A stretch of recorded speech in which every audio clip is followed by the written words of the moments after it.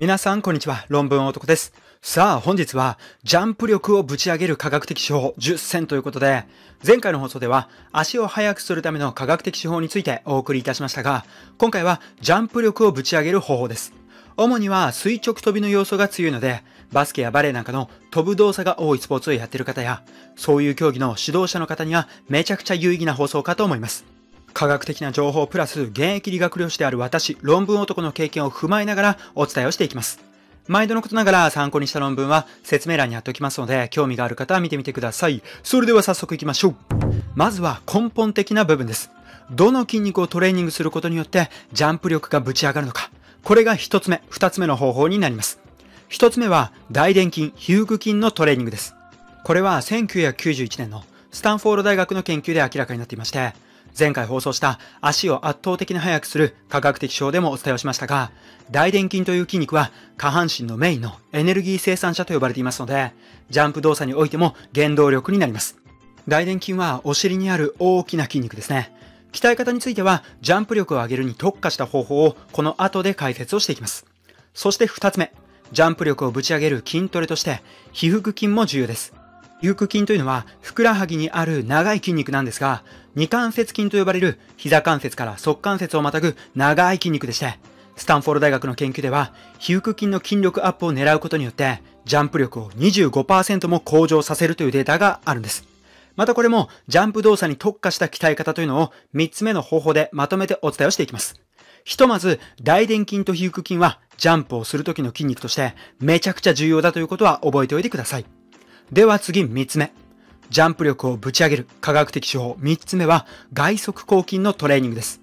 太ももの外側にある大きな筋肉が外側抗筋になります。2018年にムルシアカトリック大学からジャンプ力と筋の大きさに関してのメタ分析が行われていまして、超音波による筋肉の構造と様々なジャンプとの関連性を分析した結果、外側抗筋がどんなジャンプとも関連していた唯一の筋肉であったということで、外側抗筋のトレーニングをすることは、ジャンプ力をぶち上げることにつながります。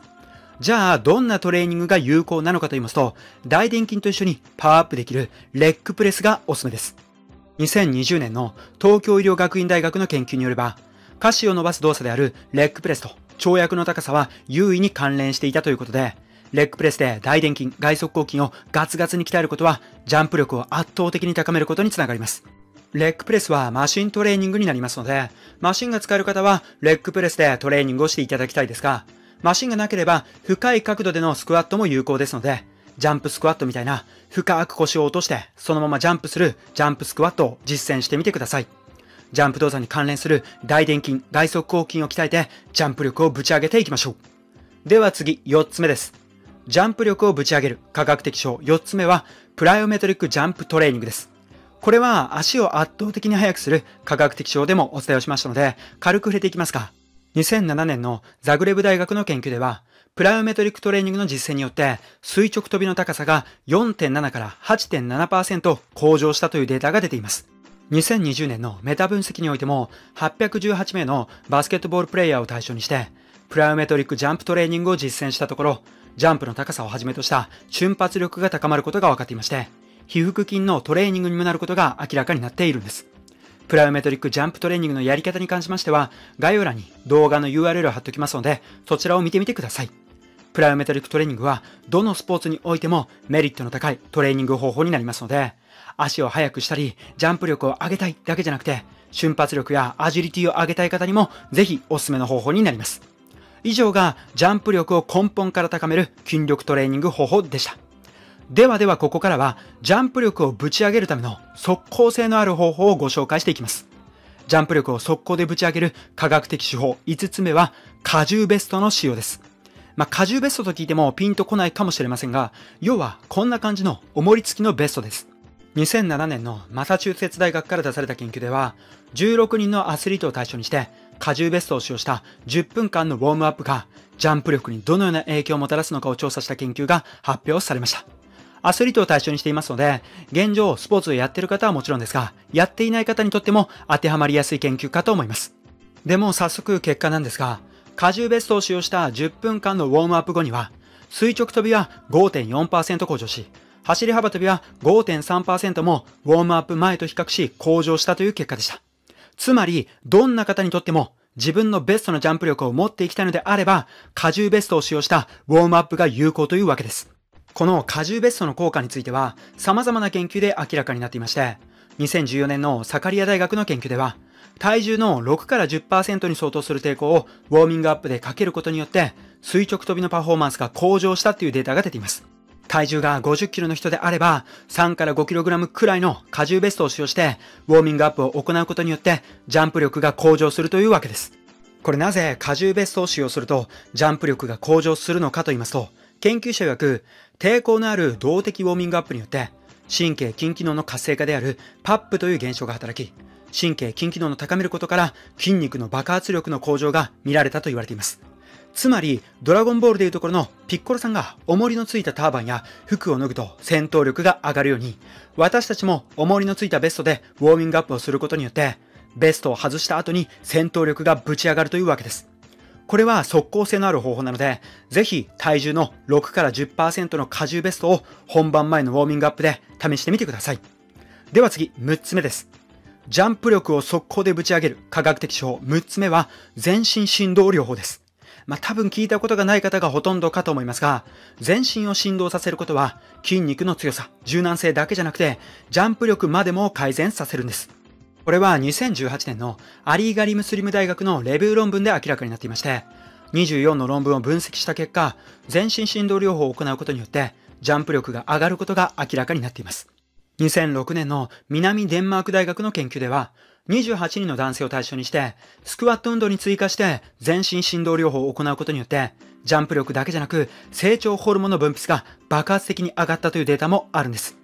成長ホルモンは筋肉を大きくしたり、身長を高くしたりするために必要なホルモンですので、高めておいて損はありません。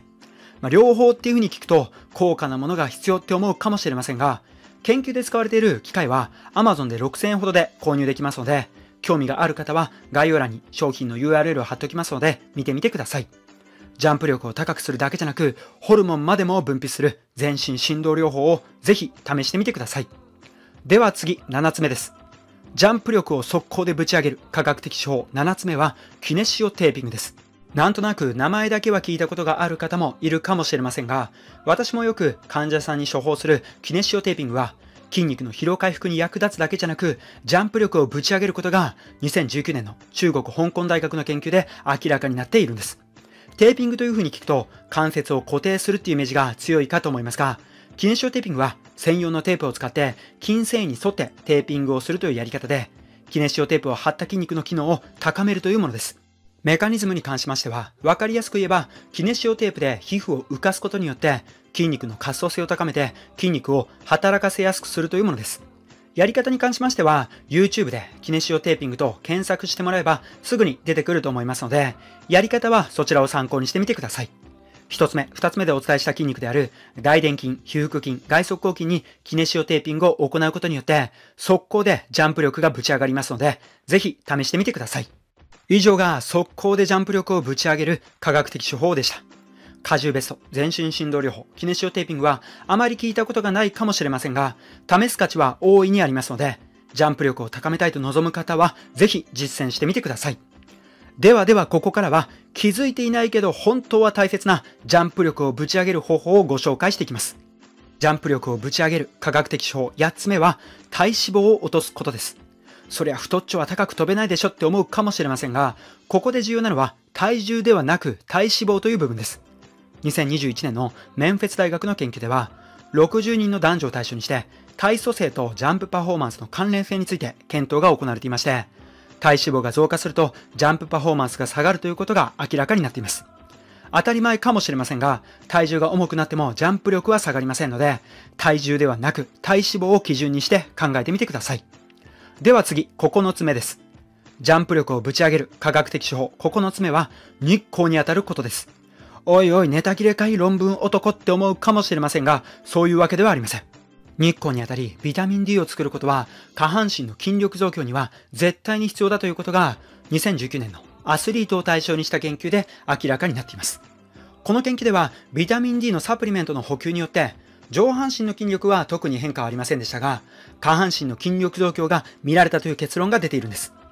ビタミン D の補給量なんかを見ると、毎日日光に20分ほど当たるだけでも十分に補充できるビタミン D の量なので、朝起きたら朝日を浴びるは下半身の筋力を上げて、ジャンプ力をぶち上げるためには欠かせません。それでは最後10個目です。ジャンプ力をぶち上げる科学的手法10個目は休息です。しっかりと足を休めることによってジャンプ力がぶち上がります。これは別に1日休もうとかそういう話ではなくて、インターバル間の休憩時間ですね。2014年のガーマフィールド大学の研究では、0から3分間の休息ではジャンプ力が低下し、8分から12分の休息では次に飛ぶ時のジャンプ力が上がったというデータが出ています。これは荷重ベストの時に説明した神経筋活性化現象によってもたらされる効果なんですが、8分から12分足を休めることによって神経と筋肉のつながりが強くなり、より高く飛べるようになりますので、競技の合間はできるだけ8分から12分の休憩時間を取るようにしてください。以上が気づいていないけど本当は大切なジャンプ力をぶち上げる方法でした。それでは最後に本日のまとめです。